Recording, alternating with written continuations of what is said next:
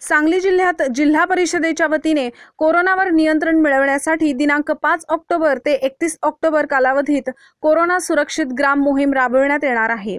सध्या सांगली जिल्ह्यात कोरोना आजाराचा प्रादुर्भाव कमी करण्यासाठी जिल्हा प्रशासनाकडून वेगवेगळ्या योजना आणि अभियान राबविण्यात येत आहेत.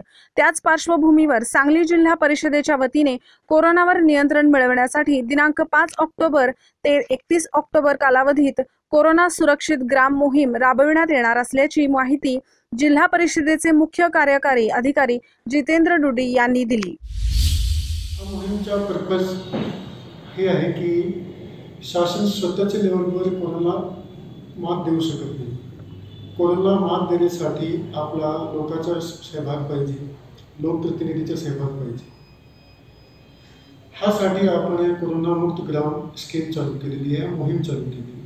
हा मोहीमचा पर्पज हे आहे की आपले जे लोकप्रतिनिधी आहे ग्रामपंचायत लेवलवर आणि जे जनप्रतिनिधी बाकीचे जे लोक आहे आपले जे सिटिझन्स आहे त्याचा सहभाग घेऊन आपलं जे कोरोनाचं जे चेन आहे ते आपल्याला ब्रेक केलं पाहिजे. ह्यामध्ये आपण प्रत्येक तालुका निहाय जे आपले ग्राम आहे त्यामध्ये आपण प्रतिस्पर्धात्मक कॉम्पिटिशन चालू केलेलं आहे. त्या कॉम्पिटिशनमध्ये आपण दस पॉईंट धरले. ते त्याचे दहा पॉईंट आहेत, त्या दहा पॉईंटवर एकतीस ऑक्टोबरपर्यंत आपला स्कीम चालेल. पाच ऑक्टोबर ते एकतीस ऑक्टोबरपर्यंत स्कीम चालेल. आणि काय काम त्या अनुषंगाने आपण त्याचा रिव्ह्यू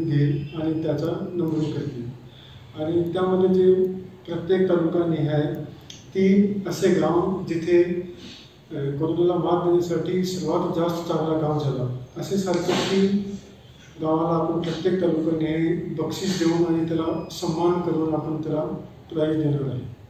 जर वापर आणि लोग वापर केला आणि सहभाग दिला तर आपण हे ते शकतो. धन्यवाद